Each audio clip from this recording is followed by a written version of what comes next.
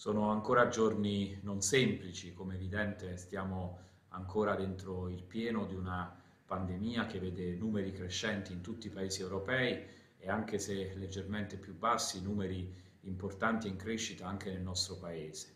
Ed non c'è alcun dubbio che ancora in queste ore dovremo investire con ogni energia sulla vera leva che abbiamo, cioè la campagna di vaccinazione. I numeri degli ultimi giorni sono numeri molto incoraggianti, c'è una crescita importante delle terze dosi, c'è una crescita anche delle prime dosi, a riprova che le misure che abbiamo stabilito stanno dando un ulteriore impulso importante alla campagna di vaccinazione.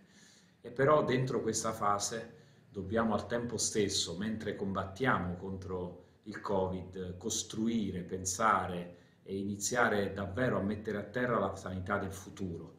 E il PNRR serve esattamente per questo. Il PNRR mette a disposizione risorse senza precedenti.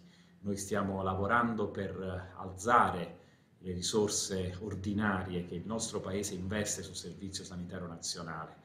Abbiamo un fondo sanitario che solo due anni fa segnava 114 miliardi e che nell'impegno di questa legge di bilancio arriva a 128 miliardi nel 2024.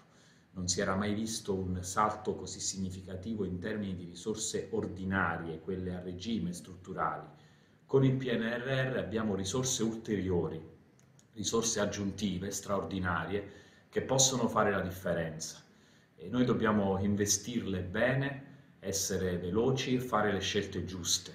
Eh, la casa come primo luogo di cura, la prossimità, eh, le case di comunità, gli ospedali di comunità, eh, l'investimento sul digitale, l'investimento sulla telemedicina, eh, l'investimento sulla nostra edilizia, sull'ammodernamento tecnologico, l'investimento sulla formazione, l'idea di una messa a sistema tra il sistema di sorveglianza ambientale e quello sanitario. Sono queste le scelte essenziali di una misura che può aiutarci davvero a costruire la sanità del futuro.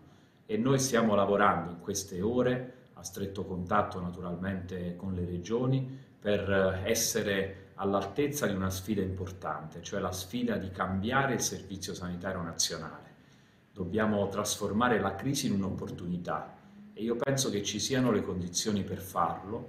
Noi siamo in queste ore al lavoro, siamo fiduciosi di poter rispettare tutte le scadenze, se possibile anche essere in anticipo rispetto alle scadenze, come stiamo provando a fare, perché davvero questa è un'occasione senza precedenti per costruire un servizio sanitario più forte e dare anche così il segnale che abbiamo fino in fondo messo a valore la lezione di questi mesi difficili.